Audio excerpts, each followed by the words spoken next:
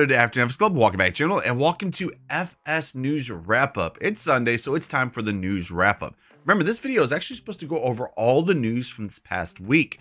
Before we get started on the news, just want to say Happy Easter to all of you from me and the admin team. In today's wrap up, we'll be going over some news finally on the John Deere 8020. Plus, we have some news on the Alma update that will be coming out pretty soon. Now, for that weekly wrap up question. Since it's Easter, what is your favorite food to eat well on this day? Let me know in the comment section below. So the last wrap up video, we only got 366 likes. We could do a lot better than that. Let's try to get to that 400.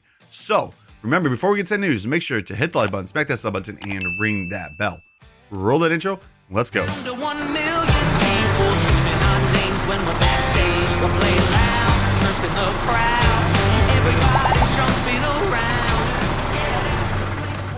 Welcome back, and here we go. The first piece of news to actually go over for today is from Celobuki about that big Alma, Missouri update that will be coming out very soon. The uh, version on that will be actually 1.0.0.3.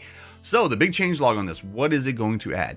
added a snowy road when it snows and wet asphalt during rain, increased the number of cows, sheep, and the amount of food in the animal barns, increase the selling prices at the train sell point so that the train has become more attractive for selling your goods. That's actually a big thing right there. Uh, the farmhouse on the main farm is retextured and a usable garage has now been added. The cow farm near town was retextured and usable garage was added to the farmhouse. Added a placeable farmhouse with usable garage and color selectable walls. Some of the trees that were stuck too far into the ground have been raised so that by removing them, the fields can be joined more easily. And he also added at the last minute a herbicide, fertilizer, seeds, liquid fertilizer, and lime tanks are now available as placeables in the container section. And all this does not require a new save. Then a mod that would actually go good with this map is actually from Legacy AG. This is actually entering the following stages. This is a new shop that will be coming soon.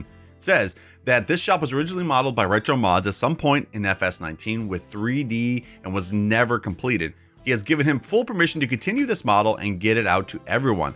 Since he's been working on it, the shed has been cleaned up quite a bit. All the 3D is now replaced, all new textures, new parts have been added. He's attempted also to optimize the model as much as possible, and it's turning out to be one heck of a shop, and it looks that way.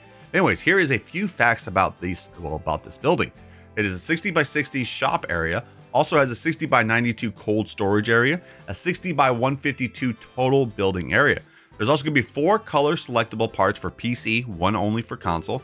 We'll have a shop trigger with full customization, will be seasons ready, and will be submitted to testing for console. So a big thing will be actually coming very soon. Do you guys hear that ding? That's actually my PC notification thing going off for Facebook, which is not supposed to do that. So sorry about that, guys.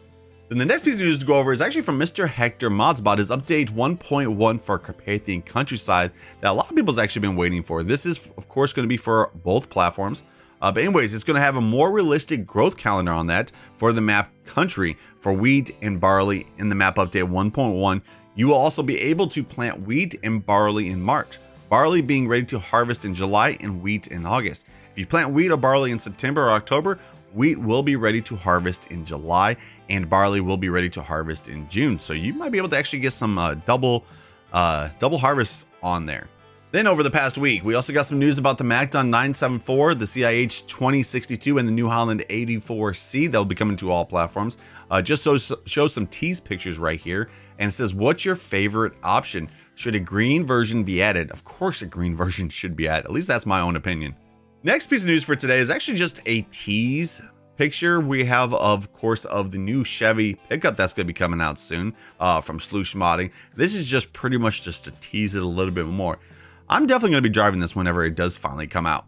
And then it's good to see Rooster Mods back. It says the console Parker update is nearing completion, but we always listening to and reading community requests. So here you go. Now for the Parker 4000 wagons, you will get to choose between implements or the 385 65R 22.5 truck tires. If you are the kind of farmer that needs to haul 950 bushels at a time down long stretches of highway, then this option is going to work great for you. Not to mention how cool it actually looks. On top of that, he's also added a lift assist spring support to the tongue for extra realism, so it no longer sits on the ground. Okay, now we have two more pieces of news to go over, and then that will be it. The next one is actually from BC Buhler about his weekly update, of course, on his sprayer trailer. It says progress is continuing, but not super quickly. He's decided to show some screenshots of some more ways the trailer can be used. Still, he's trying to figure out the best way to make everything easy to load on the trailer when assembling or changing the trailer configuration. The seed tender that you see in those pictures, guys, is actually from Schultz Modi with some updates that will be coming to his mod hub version. So big update will be actually coming to that thing too. Can't wait for this trailer trailer. This is going, going good with those American maps, especially like Alma, Missouri. Now that last piece of news is of course the big one, the John Deere 8020 from Schaben Modding, not Mad Bear, but I think Mad Bear is actually going to be helping him on this project. Says over the past month or so, he's been working on the John Deere 8020 to bring it to FS22. It is still in a work in progress state, but progress is being sorry, progress is being made relatively fast. While working on this project, he's had the ability to learn more about the tractor and its unique history. Each tractor has its own background and story to tell. Most were sold to farmers, but a couple were sold to construction sites or to gold mines. Out of the rumored 100 produced, only around 90 of them are left. So, this will be coming out to all platforms very soon. He also says he needs some help. If anybody can find or has a clear photo of the seat suspension for one of these behemoths, please message him on his Facebook page, guys, which that link is down in the description. Okay, so that right there was the wrap up. A lot of good stuff actually happened this past week. I mean, we got amazing mods. We got that big K Steiger 715 plus Eldorado map, which is an amazing map. A lot of good stuff. Hopefully this next week will be another good week. Like always, if you guys did enjoy the video, a like would be appreciated. If you're new to the channel, welcome to the club. Don't forget to hit that sub button and ring that bell. Well, I'll see you guys in the next video. Peace.